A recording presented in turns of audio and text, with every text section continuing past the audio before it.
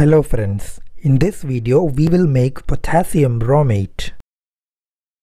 Potassium bromate is an oxidizing agent and is made by dissolving excess of bromine in potassium hydroxide a solution of potassium hypobromite is formed which then disproportionate to give potassium bromate and potassium bromide as it is unstable. Potassium bromate is less soluble and crashes out of the solution. Materials required include 7 grams of potassium hydroxide and 10 ml of liquid bromine. Start by taking 7 grams of potassium hydroxide in a 250 milliliter beaker. Now add 25 ml of distilled water into it. This will heat up a lot and potassium hydroxide will dissolve in water. With the help of a glass stirring rod, dissolve it well and the solution will eventually turn clear. Once the solution has cooled down, set up a separatory funnel on top of the beaker and pour in 10 milliliters of liquid bromine into it. Also place a stirring bar in the potassium hydroxide solution and start stirring the solution.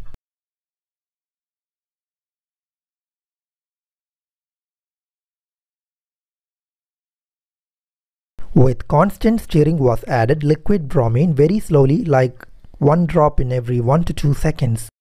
You can notice how the color of the solution changes from a light yellow color to a dark yellow color and then to orange and finally red in color.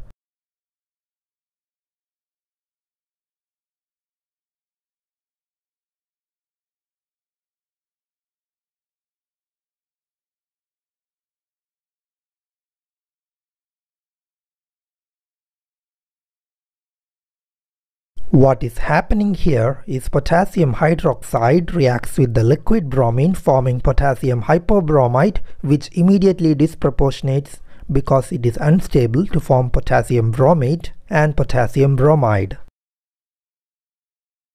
Potassium bromate that is formed is pretty much less soluble compared to potassium bromide Therefore, by the end of the addition of liquid bromine, the potassium bromate will crash out of the solution without we doing anything.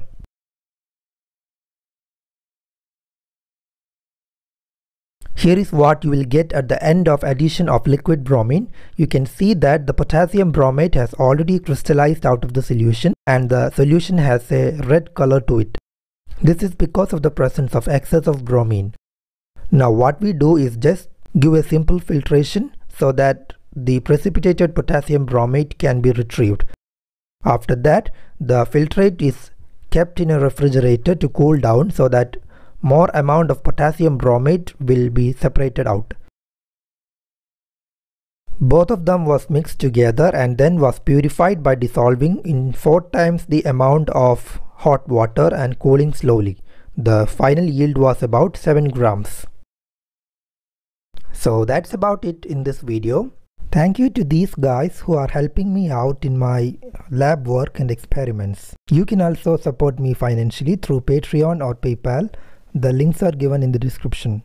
So once again, thank you. Please subscribe to the channel and click on the bell button for notifications.